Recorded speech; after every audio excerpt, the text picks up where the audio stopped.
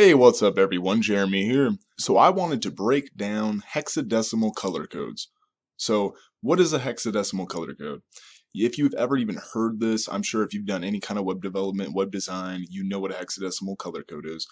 And don't mix this up with an RGB color code, which stands for red, green, blue. It's based on the values of these three colors. Don't mix those two up.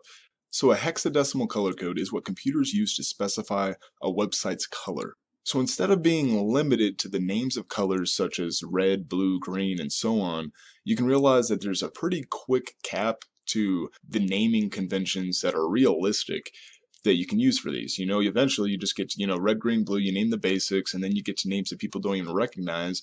You know, what are you going to say? Like reddish blue, red one, red two, red three. It's just silly. So there's many ways you could do this. My favorite way, and the way that we've all adopted to do this, is this hexadecimal color code fashion. Now, this cap with the naming convention of these colors like red, green, and blue would run out pretty quick. But believe it or not, if you use hexadecimal color codes, you can have a range of colors with 16,777,216 choices to choose from. Yeah, it's a lot. It's every conceivable color that you would even care to use. So how would we actually use these if we wanted to maybe change the color of something on our website or, you know, do whatever? Let's let's just use my website as an example and go to one of my pages and find the title. So this right here, tips for search engine optimization, it's black right now. So as I already mentioned, you can change the code of your website to kind of test things out, and that's what we're going to do right now.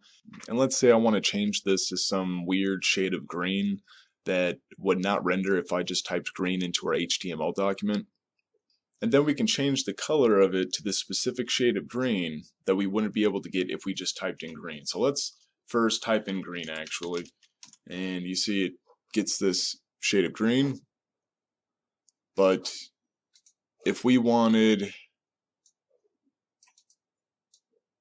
let's say, uh, da, da, da, maybe a really bright green or something, you know, so that's the code you were going to need. This is the hexadecimal color code that you would need to display this exact kind of green. And this is the RGB red, green, blue value that I'm not going to explain right now. Really, they're mainly used for um, photo editors and you know Photoshop and different things like that. So anyways, let's get back into our editor and we'll copy and paste that code exactly how it is and you notice it immediately changed to this really bright green. So we can't obtain this any other way unless we specify this exact color through a method like this. So let me emphasize that the big benefit of a hexadecimal color code is it allows you to specify a, a, color that you would not be able to obtain otherwise. Okay, if you just use, you know, the name green. Okay, so let's go back to the w3schools.com website that I mentioned and this is a, a really good site. It gives you a lot of it's a lot of information if you're just starting out, but it also has some good tools if you're trying to do something specific. So let me break down this hexadecimal color code for you. We have this right here. It's number sign 03FF00. And this is that green we just applied. So you notice the number is preceded by a pound sign. Uh, if you're in the UK, this might piss you off me saying that. So it's called a hash or a number sign over there. But after the number sign, follow with the six-digit alphanumeric code. Sometimes it's just numeric, sometimes it's just alphabetic.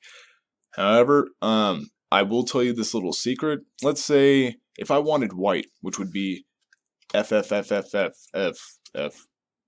Excuse me, one extra F. Let's go back one. All right. So that's six Fs to get white. Now if I wanted black, I could do six ones. But the cool thing about any color code that has six duplicate numbers or letters, you can actually just cut this in half and you'll still render the same thing. So if we wanted to do whatever color this would be, which would be this darker gray, we could just do 3Ds and it would still render the exact same thing. Or for white, we can just use FFF and it'll still render the exact same white. It's a little shortcut and a lot of browsers cut off this extra information anyway. I just wanted to break that down so it doesn't throw you off if you see a three digit hexadecimal color code and you're like, uh, is this not even hexadecimal? What's going on here?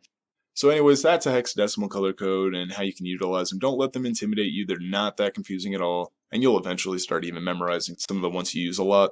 So yeah, that's about it on hexadecimal color codes. Uh, you know, thanks for watching, you guys. Please subscribe. I appreciate it.